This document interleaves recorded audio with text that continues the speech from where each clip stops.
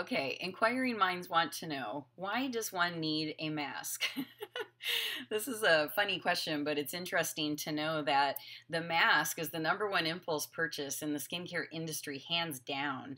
And um, a mask is very powerful. In our world, our perfecting mask in the Cannabis Beauty Defined line has the highest amount of CBD in it versus all of the other products. Um, second is the serum. So when you're thinking about this, if people don't buy a bundle and they buy individual items, something to talk about is the mask and why why do you need a mask? So after you've exfoliated and cleansed your skin, what opportunity do you have? You have an opportunity to do a deep clean. So think about the fact that sometimes we just vacuum the carpet or sweep the floor, but sometimes we actually have to remove and deep clean the tile or shampoo the carpets um, because we have a, a deeper need. Well, our skin needs the same thing.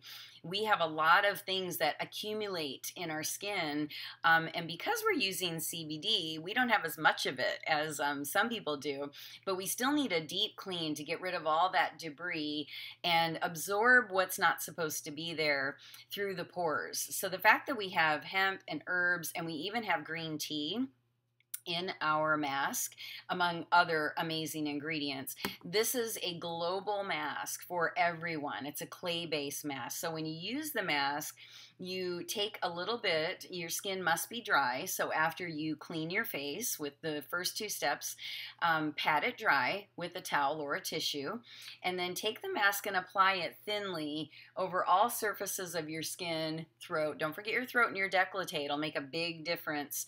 Um, avoid the eye area. So feel the bone around your eye. That's where you're going to stop with applying your mask all around the bone. Just leave a big circle around your eye. You don't need a mask there that skin is a delicate tissue that's three times thinner and it doesn't have any oil glands. So there's no need to absorb anything from around the eye area. Once you have the mask on, you leave it there until it's dry. If You leave it a little longer because you're being multitasking. And then you're ready to remove it once it's dry. Once it's dry, it stops working because it's pulled and pulled and pulled and pulled and it's holding everything on the surface and now it's like okay remove me.